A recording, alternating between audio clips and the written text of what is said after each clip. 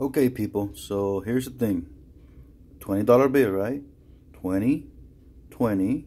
That means we are in 2020, right? Let's do this. What if I flip the bill in half? It's hard to do it with one hand, but here it goes, right? Half and fold it again in the middle, another half. And then what do you see? In 2020,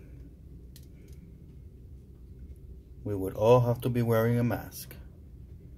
It is written in the $20 bill. You see the face and the mask, right?